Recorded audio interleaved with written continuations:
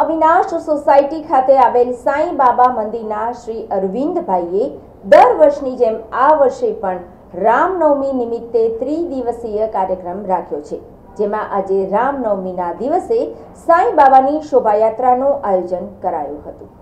સમગ્ર ગુજરાતમાં પ્રભુ શ્રી રામની જન્મ જયંતિ એટલે કે રામનવમીની ધામધૂમથી ઉજવણી થઈ રહી છે. ત્યારે અમદાવાદમાં ઘાટોડિયા ખાતે અવિનાશ સોસાયટીમાં આવેલ સાંઈ બાબા મંદિર દ્વારા પણ રામનવમીની ધામધૂમપૂર્વક ઉજવણી કરવામાં આવી હતી.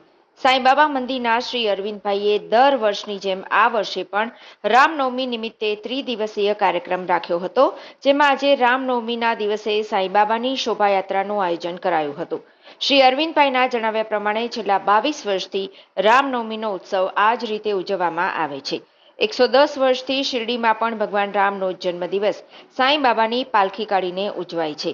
આ પાલખી યાત્રામાં ભાવિક ભક્તોનું ઘોડાપૂર ઉમટ્યું હતું. આ બાવીસ વર્ષથી અહીં રામનવમી ઉત્સવ ઉજવાય છે અને શિરડીમાં પણ આવી રીતે પરંપરાગત રામનવમી ઉત્સવ ઉજવાય છે. બાબાએ એવું કીધું હતું કે જો કોઈને મારી વરસગાંઠ ઉજવવી હોય તો એ રામનવમી છે. એટલે તમે ભગવાન રામનો જન્મદિવસ ઉજવો.